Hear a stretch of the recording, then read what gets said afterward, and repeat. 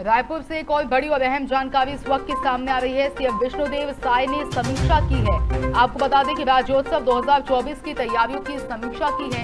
दीप दीपोत्सव के साथ राज्योत्सव मनाया जाएगा।